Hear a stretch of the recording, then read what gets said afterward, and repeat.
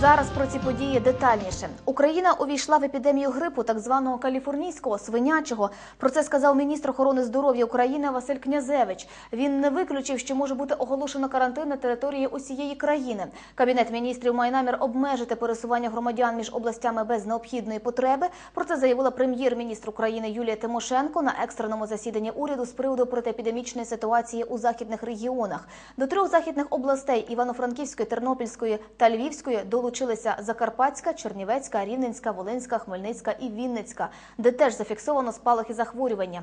Прем'єр оголосила, що в усіх дев'яти областях вводиться карантин. Усі передвиборчі заходи також скасовано. Президент України Віктор Ющенко скасував презентацію своєї передвиборчої програми 1 листопада. Повідомляє прес-служба нашої України. Його виборчу програму буде презентовано пізніше. Нині відбулося і позачергове засідання Ради національної безпеки і оборони. Головна тема засідання епідеміологічна ситуація в Україні. Віктор Ющенко головував на засіданні РНБО. Він заявив, що ліків для боротьби з пандемією грипу AH1N1 поки вистачає, але звернеться до світової громадськості, якщо буде потреба у додаткових ресурсах. Голова Івано-Франківської обласної державної адміністрації Микола Палійчук пообіцяв, що усю нову інформацію щодо рівня захворюваності у краї можна буде дізнатися з його щоденних брифінгів. Вона надходить від представників місцевої влади і медичних закладів. Ситуація, за словами Миколи Полічука, залишається напруженою. Що стосується е, смертей, е, слава Богу, більше не зафіксовано. Понятно, що я говорив зранку, підтверджено, що людина померла від інфаркту. Е, і є ще один смертельний випадок в Рогатині, але ця людина не була ні в реанімаційному відділенні, не зверталася. У нас в Рогатині не було зафіксовано кількість людей взагалі в реанімаційному відділенні з підозрою на е, гостру вірусну пневмонію.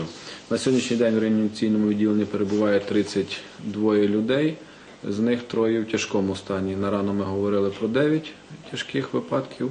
Трошки людям стало легше. Є, звичайно, що хтось е, когось переводять у звичайний режим, додатково поступають люди але ситуація знаходиться під контролем. Що стосується медикаментів, е, вже частина в дорозі з Києва складів, частина зараз відгружається. На завтра рано в місто Івано-Франківськ.